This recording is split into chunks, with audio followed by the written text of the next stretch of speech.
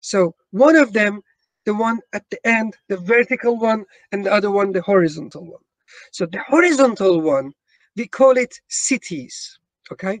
But the vertical, vertical one, we call it urbanization. So there is a difference between cities and urbanization, okay?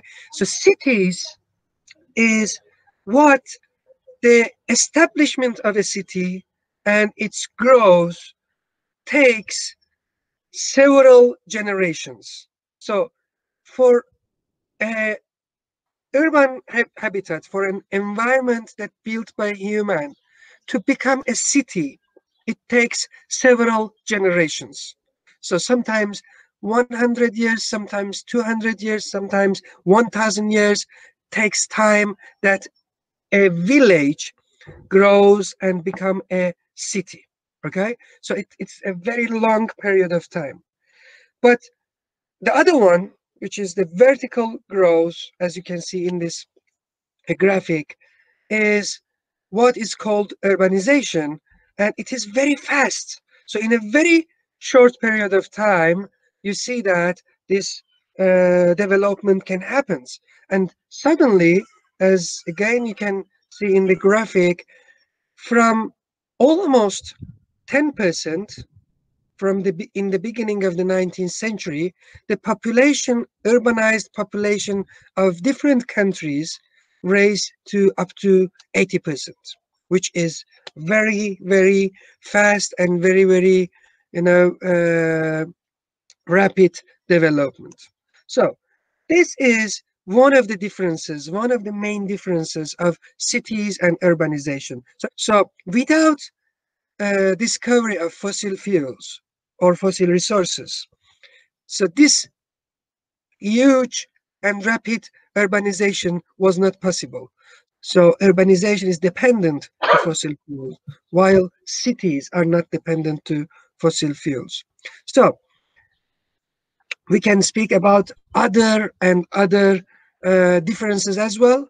The way that people are uh, kindly organized as the third uh, differentiation. Uh, so in cities, cities were kind of independent uh, societies. So they were self-organizing. That it had its internal organization system. So they were not dependent to somebody else. So each city has its own rules, has its own communities. However, uh, in addition to these, cities had their own ethics. So being a citizen of some places uh, means to have some responsibilities towards that city and towards that uh, society. But when we are speaking about urbanization, urbanization is urbanized areas are not self-organizing uh, entities or environments. Even they're becoming self-organizing is quite impossible because they are completely dependent for all all of their needs and uh, even the, their products must be sold all around the world. So they are very uh, very much uh, kind of distributed and fragmented uh, mm, societies. And Additionally, because of the 19th century's developments, we have a kind of uh, new concepts of states and central governments, and you know these these all that have the uh, main controls over the cities.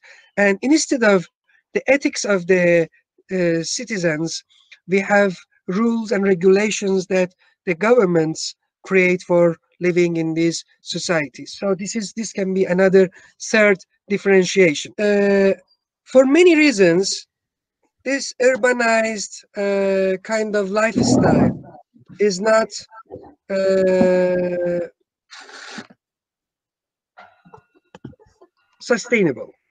Okay, so when I say it's not sustainable, I mean that uh, you cannot continue this lifestyle, this urbanized lifestyle forever why why you cannot con continue this lifestyle forever because uh, what today uh, in 2020 what we consume in one year the earth produces it in two years how it is possible. It is possible because because the previous generations they produced more than they consumed, including humans and including non-humans, all the nature. So our generation had the chance to use more than what it produces. So now I will show you one another uh, graphic. Okay, uh, I hope you are seeing it.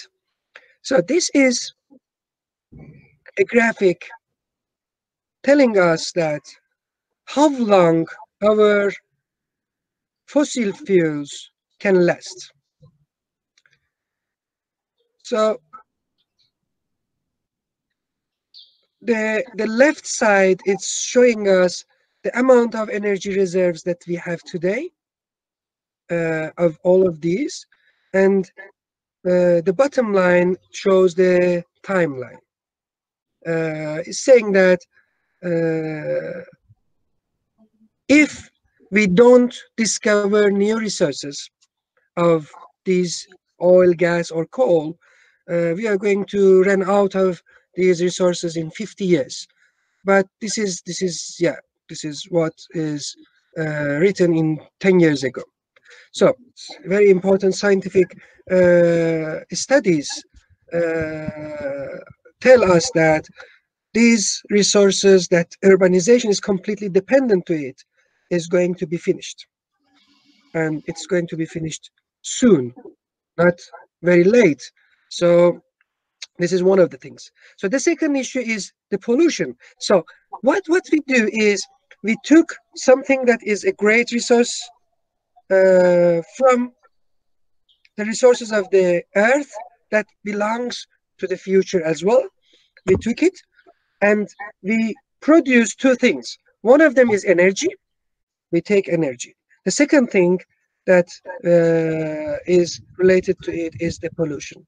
So we we take it we use it we produce energy and we produce pollution we produce two things so because we don't clean our polluted environment and even cleaning it is quite impossible so it needs more energy to collect all the carbon dioxides that our cars produce and clean the air completely so it is not possible so what we are doing, we are just leaving it as it is. And that means that the way that we are living on this earth, we make the earth uh, poorer for the future generations. So we consume it. Oh, it is it is not sustainable, as I said, number one, and it is not resilient. So uh, it is not resilient means that uh, it is it is quite dangerous even. So I will I will show you another slide. So this this map shows us that almost, as you can see in the caption of this uh, image, almost 60% of the urban areas with more than 500,000 population in the world is at high risk of exposure to natural disasters. Is that the cities with more than half million population, almost 60% of them are in a high risk of exposure because of natural disasters. So this this is for natural disasters, but today, uh, as you all are facing, we are dealing with an issue of pandemics. As you can realize, the big cities are the main problems because there are uh, massive populations in a very dense environment living there. So the amount of meeting, social meetings are too high. Okay, so I want to speak about the third issue, the third problem that urbanization creates on its uh, creates on the earth. So this this this problem is the problem of equality, the problem of discrimination, the problem of injustice, the problem of uh, poverty. So urbanization creates poverty. Urbanization uh, creates injustice inequality. So th- this uh, graphic is about new york uh, population and their incomes. Okay so the top 1% uh, income group in the new york city they own 32 and half percent of all the incomes of the city while the bottom 10% the bottom 50% sorry the, the 50% half of the city they own only 10% so this this is a huge gap between two groups of people. So urbanization creates these two two two uh, different class. So all of these when you wrap up all of these together we understand that urbanization is something very dangerous for human being and for the nature and also uh, is not sustainable so it is something for a very temporal period so for a very temporal very short period of time our generation had this chance to consume everything in the world singly. The urbanization says that, okay, so there is a solution.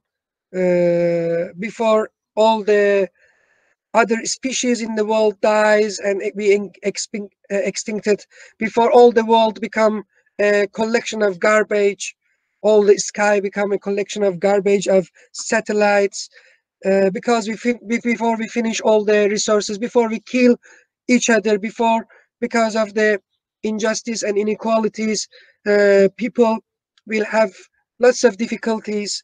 And as we see today, a poor person in uh, one part of the world can uh, have a disease that can kill lots of rich people in the center of New York or London. So we are all connected to each other and we are all connected to the all the other living beings in the on the earth and so we are living all in that in this very uh, beautiful and magical planet that's called earth. So we have to change our mindset and our lifestyle and the way that we are uh, living on this earth. So these these these days actually i was thinking that if uh, coronavirus or epidemics had a chance to employ a city planner, an urban planner, and tells that, okay, I want you to plan a plan human habitats in a way that kill more people. What kind of urbanization you can imagine? And the answer definitely would be today's cities. The answer definitely would be New York, London, Istanbul. So that means that we have to change the way that we are looking at urbanization and uh, urban planning or urban design or landscape design or built environment or all of these okay